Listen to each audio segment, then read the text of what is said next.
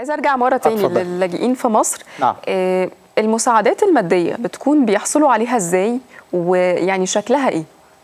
طيب هي مش كتيرة جدا طبعا وكانت زمان يعني من حوالي 20 سنة كانت ب- بياخدها الناس كل واحد يعني ليك مرتب وكده. طبعا الأعداد زادت.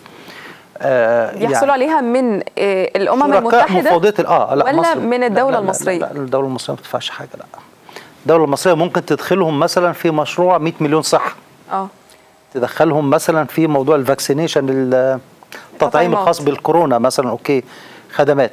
ودايما البلاد المضيفة زي مصر وأي بلد تانية لما بي بيجي لها منظمة دولية ولا حاجة بيقولوا لهم بس شرطنا إن أيضا المواطنين يستفيدوا.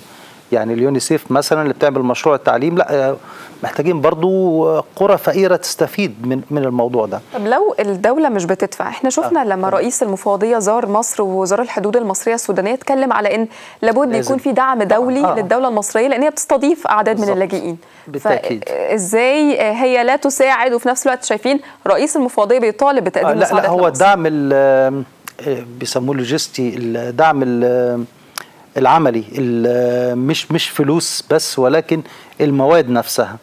فالدولة كمان عشان الناس العالقين على الحدود واللي بيدخلوا اللي عندهم مشكلات.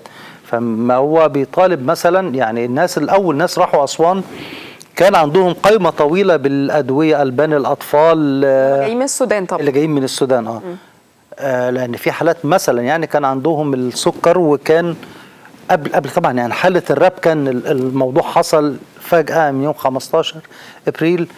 آه على ما المسألة اتنظمت لكن طبعا يذكر مثلا الهلال الأحمر من أوائل الأماكن ال- الجهات اللي اتحركت.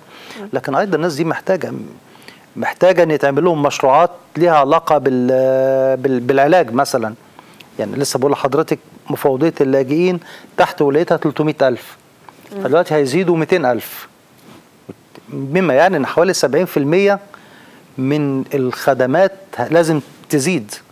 يعني فده ده, ده طبعا ده دي حاجة بالملايين. للمسجلين. تاني بنأكد على فكرة دول المسجلين آه لا المسجلين لأن الباقيين سواء هم ما سجلوش خالص ما, ما لهمش علاقة بمفوضيه اللاجئين أو في فئة حظها سيء أغلقت ملفاتها. يعني أنا لما أجي مصر مثلا بتقدم للمفوضيه بيعملوا لي آه، آه، مقابلة تحديد صفة اللاجئ. اترفضت عندي القابلية إن أنا أعمل استئناف اترفض الاستئناف فأنا يعني بما لا يدع مجالا للشك يا إما أنا ما بقولش الحقيقة يا إما أنا بقول الحقيقة لكن ما عنديش خطر ينتظرني حال عودتي لبلادي فخلاص أنت ملفك مقفول يعني أنت من الآن فصاعدا لست تحت ولاية مفوضيه اللاجئين. عملية البحث في إمكانية عودة اللاجئ بتستغرق وقت كبير؟ هي اللي أنا أعرفه إن طبعا آه، بتكون بالمشاركة مع مكتب آه، مفوضية اللاجئين. المكتب رئيسي في جنيف هو اللي بيقرر يعني بيجي له تقارير وبيجي له طبعا بنطلب توصيات مثلا يعني. ده مش في مصر بس ولكن عموما.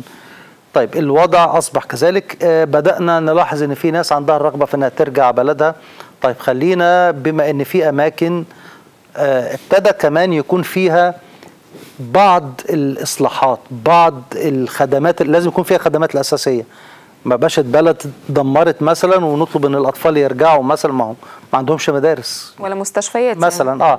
فالخدمات الأساسية وبالذات المدارس والمستشفيات دول أهم عنصرين لازم يكونوا مط- مطلوبين حتى لل بيسموهم البانيرز الرواد الاولين الأولانيين اللي هيروحوا يعيدوا إعمار الدولة نفسها أو أو المكان ال- اللي حصلت فيه ال- ال- الأزمة.